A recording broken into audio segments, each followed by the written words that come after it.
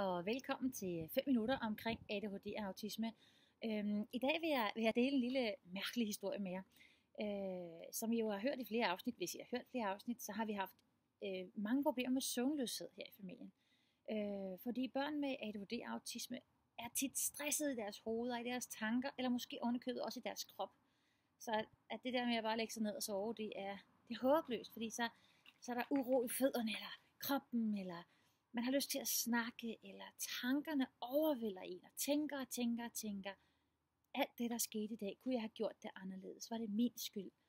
Er, de, er jeg dum? Synes de, jeg er alt for anderledes? Og alle de der tanker, der bare drøner rundt i en stor sort ring. Øhm, og nogle gange, når jeg har lavet en video med noget, der virkelig virker, virker så efter øh, en eller to måneder, så tænker jeg, ej, var det lidt tavligt, for nu virker det egentlig ikke så godt længere. Øhm, og, det er sådan lidt en ny tanke for mig, fordi jeg troede, det bare blev ved med at virke. Da, da min søn først fik en kugledyne, der kunne han slet ikke sove, fordi de der kugler, de larmer, de siger klonk, klonk, når man vender sig. Så prøvede vi kædedynen, og den gav ham vel omkring to timer mere søvn om natten, fordi han, som han sagde, nu er det ikke mit hoved, der ligger og siger, lig stille krop, lig stille krop, lig stille krop. Nu er det min dyne, der siger det, og mit hoved kan bare slappe af. Men øh, så er der alligevel også kommet nogle perioder, hvor der har været meget stress på, og sådan nogle ting, hvor kædedyne eller ej, så sover han stadigvæk ikke. Så har vi prøvet forskellige øh, øh, ins, altså piller til at hjælpe til at falde i søvn, og det er, ja, det er han fuldstændig immun overfor. Øhm, så, så vi har været sådan lidt på den i de perioder, hvor der er meget stress. Kædedynen virker stadigvæk for. Uden den er det da helt håbløst. Men øhm, så hørte jeg om en mærkelig bog. Med, den så sådan her ud, oh, hvis jeg ikke vender den på hovedet. Kaninen, der så gerne ville sove. Og jeg kigger lidt på de her billeder og tænker, okay, den går nok ikke. Min søn er nok lidt for gammel til det. Men så var den lige på et tilbud i Bilka, og så tænker jeg, hm, jeg prøver. Øh, og øh, jeg må sige, at jeg er dybt overrasket. Øh, der står sådan en, øh, en brugsforvirring, en, brugs, en brugsanvisning ind i, hvordan man skal læse den højt. At nogle af bogstaverne er med kursiv. Dem skal du tale stille.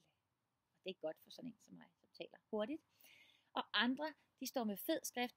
Dem skal du tale højt og tydeligt og meget bestemt. Og jeg tænkte, ej, det er simpelthen for dumt det her. Det er simpelthen for åndssvagt.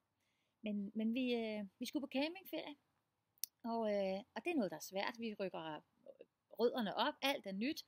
Der er knæbent wifi i campingvognen, og man skal sove en anden seng, end man plejer. Og kædedynen var meget varm i en campingvogn. Så jeg tænkte, det går ikke. Men vi tog kaninbogen med, og den første nat, vi læste den, der øh, lagde han sig bare ned og faldt i søvn. Jeg var totalt overrasket. Men jeg tænkte, ja ja, okay. Det, han har også, det har også været en lang dag, og vi har oplevet mange nye ting, og vi har kørt i bil i lang tid, og det bliver man træt af. Næste dag prøvede vi det igen, og han faldt i søvn næsten med det samme. Og allerede mens vi læser bogen, der kan man mærke, en, en, at han falder til ro, at hans tanker får ro, og hans krop får ro. Og jeg tænkte, det er lige godt utroligt. Så var der en nat, hvor vi simpelthen ikke kunne nå at læse den. Og han kunne slet ikke sove. Han var, det var helt tydeligt, at bogen gjorde en stor forskel. Så nu vil jeg alligevel lige bruge et par sekunder på at dele med jer. Jeg må så også erkende, at den tager, der er 29 sider i, cirka, den tager cirka 29 minutter at læse, 28-27 måske. Og øh, ikke noget med, at man må ikke læse den øh, med det der spændende stemmeføring og sådan, åh, så kom. Det dur ikke, men det skal være stille og roligt. Der er mange gentagelser i. De går ned, ned, ned og så videre. Øhm, og, og alt det i mig strider imod at læse sådan en bog, men det virker virkelig. Og, øhm, og jeg måtte så erkende, at det var sådan lidt, det var sådan sten, saks, papir. Nej, jeg tabte, jeg skal ind og læse den. Fordi som voksen at læse den samme bog igen og igen, der bliver man lige lidt smule bims, og så er der oven købet en bog, du bliver ret træt af at læse. Der er også indlagt gab midt i bogen, så, øhm, så, så man er faktisk lidt slatten, når man kommer ud derfra og sidder og læser bog i, i de der 20-30 minutter. Så jeg har indtastet den på hans telefon. Indtalte den på hans telefon. Øhm, den ligger alligevel derinde, og så kan han bare sætte den til at køre, og så slukker den jo selv ned, når den er færdig. Øhm, der er ikke noget lys derinde, eller noget. Der er ikke nogen voksne, der skal til at sige farvel bagefter.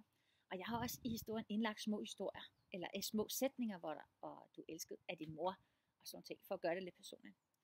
Og, øhm, det har faktisk gjort øh, en lille bonuseffekt, som jeg vil dele med jer, at han har nu mod på at tage på overnatning, øh, fordi han kan jo bare høre historien igen og igen og igen om nødvendigt. Hans problem er, at når han er i byen og sover et andet sted, ja, så er han der, men han sover ikke. Øh, han er ikke bange eller noget, der kan bare ikke komme ro i kroppen. Så vi har ikke prøvet det nu, men øh, det er kun halvanden uge til, vi skal prøve det, og jeg glæder mig så meget. Bare det, at han har mod på det, det er en kæmpe sejr. Så øh, det vil jeg bare dele med jer. En skør lille idé med kaninen, der så gerne vil sove.